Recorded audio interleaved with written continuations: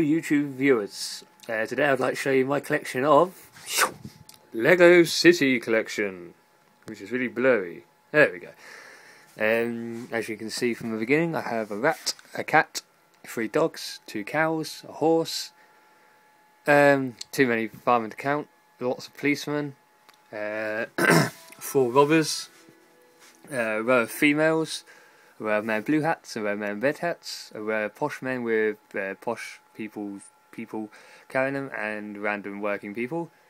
A limo air taxi, a yellow uh, water landable aircraft, and the red train on the train track. As you can see on the back, I have a, a digger which can go on land and on the train track, kind of part of the track.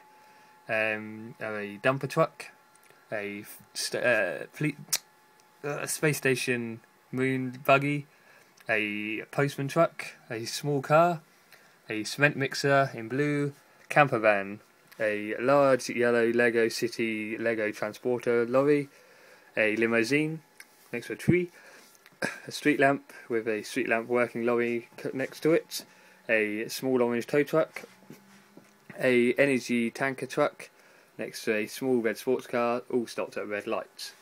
Uh, I have a large police boat, which if you open up here, you can see inside has a small red jet ski. And then I have a, far, a police station with a police helicopter, and detailed jail with handcuffs, uh, one dog truck, uh, another dog truck inside there, uh, one police car, two police cars, police bike, and a police prisoner van. Again, the rest of a fast police station with a little office over there. So that is my oh right, and a little red speedboat there. Looks like a fuel pump and post box.